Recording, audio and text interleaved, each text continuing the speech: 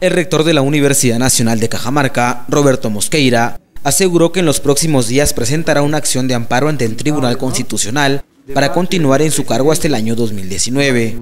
La autoridad universitaria insistió en la inconsistencia de la nueva ley, la misma que no puede aplicarse por la existencia en ella de errores materiales y formales. Eh, yo dejé esto suspendido porque creí que esta medida cautelar corregía las acciones eh, de hacer las cosas con justicia y equidad.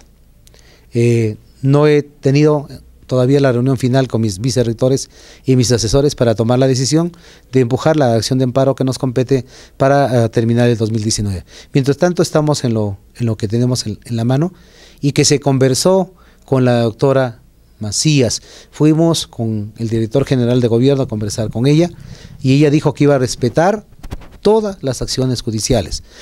Nosotros no tenemos límite para que hasta el 31 de diciembre tengamos elegido las autoridades porque nuestra acción ha sido por errores materiales y errores eh, coyunturales en las elecciones de la Asamblea Estatutaria, del reglamento y del estatuto. En otro momento, Mosqueira sostuvo que se debe respetar el periodo para el cual fue elegido en elecciones universales como rector. Además, lamentó que el proceso de aplicación de la nueva ley en la UNC se haya realizado en medio de una serie de problemas originado por una lucha interna de poderes que solo dañó la institucionalidad de nuestra primera Casa Superior de Estudios.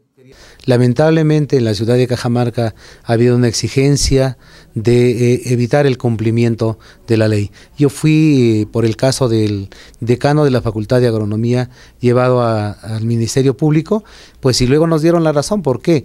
Porque sencillamente el mandato tiene que cumplirse en el estricto cumplimiento de su periodo. Y eso que es ahora para los descanos, también es para el caso de los rectores, como así lo creo conveniente la Universidad de Arequipa. ¿La ley no es retroactiva? Y la ley no es retroactiva. Eh, eh, por eso yo convoqué a las fuerzas políticas a que este tema lo trabajáramos, lo discutiéramos, ¿no?